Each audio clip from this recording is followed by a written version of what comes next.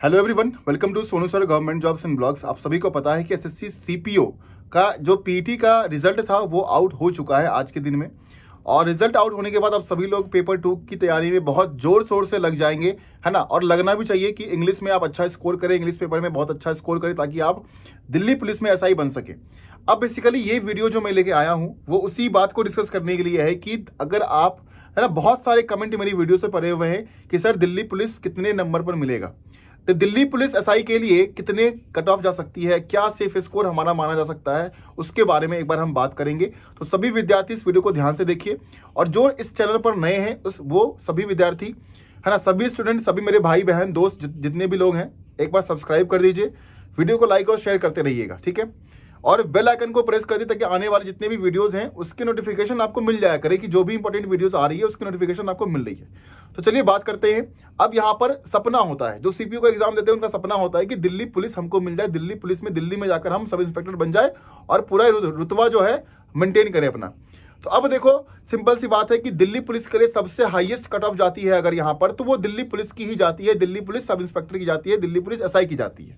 तो अब अगर हम बात करें यूआर कैटेगरी की तो यूआर कैटेगरी से अगर हम बात करेंगे तो यूआर का कट ऑफ़ जो जाएगा दिल्ली पुलिस के लिए, वो मेरे हिसाब से, है ना, मेरा एक रिसर्च है, उसके हिसाब से कहीं ना कहीं 310 से 320 नंबर के आसपास दिल्ली पुलिस आपको मिलेगा। क्योंकि काफ़ी कंपटीशन होता है दिल्ली पुलिस के लिए और सबसे हाईएस्ट कट ऑफ़ जो है वो दिल्ली पुलिस के लिए जाता है है ना? तो आप 310 से 320 यूआर के लिए मानिए। उसके बाद ओबीसी के लिए हम कहेंगे 280 से 290 तक आप मान सकते हैं।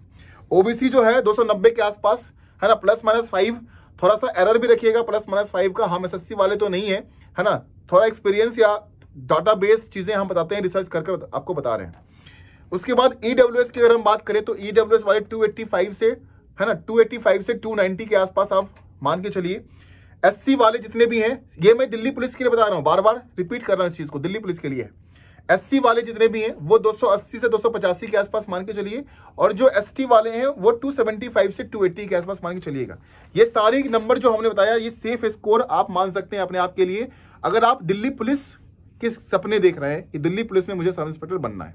बाकी आप लोग अपना आइडिया आप क्या सोचते हैं कि दिल्ली पुलिस के लिए कितना कट ऑफ़ जा सकता है? उसके बारे में आप सभी लोग कमेंट में ज़रूर मेंशन करिएगा। सभी लोग अपनी राय ज़रूर लिखिएगा कि आपके हिसाब से कट ऑफ़ जो है, वो दिल्ली पुलिस की कितनी जानी चाहिए।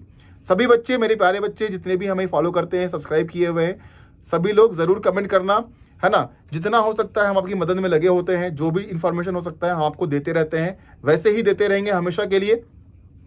ठीक है? तो सभी लोग कमेंट ज़रूर कीजिएगा कि आपके हिसाब से दिल्ली पुलिस के लिए एक safe score cut off score क्या हो सकता है। ठीक है? धन्यवाद। आप सभी का दिन शुभ हो। बहुत अच्छे से तैयारी करिए, है ना? और जल्दी से नौकरी हासिल कर लीजिए कुछ भी। है ना? सरकारी नौकरी बहुत ज़रूरी हो गई आज के दिन में। ठीक है? चलो, जय हिंद।